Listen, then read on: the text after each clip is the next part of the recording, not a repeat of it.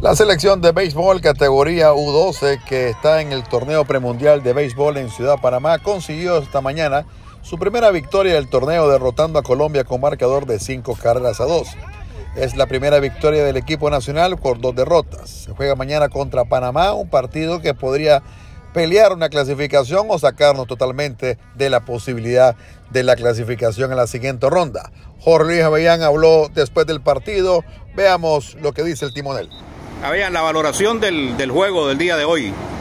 Mira, algo importante es que los niños van agarrando confianza.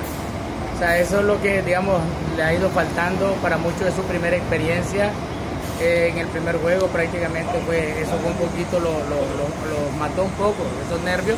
Hoy todavía damos algunos, el mismo pitcher Acosta tira, tira más fuerte de lo, que, de lo que lo hizo hoy.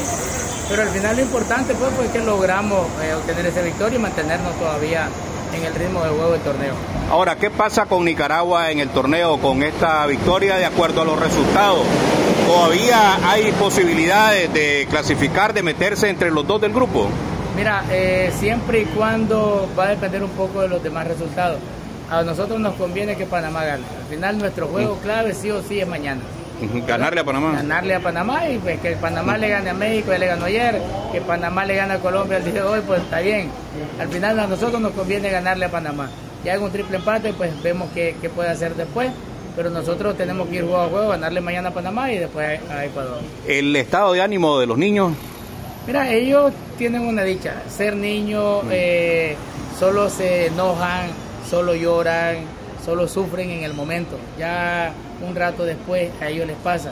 Sin embargo, nosotros pues hemos estado hablando con ellos, ¿verdad? Eh, todos los días nos reunimos aquí en el hotel, hacemos el meeting previo allá en el, en el estadio antes de juego y, de, vos lo viste ahora, después de juego igual.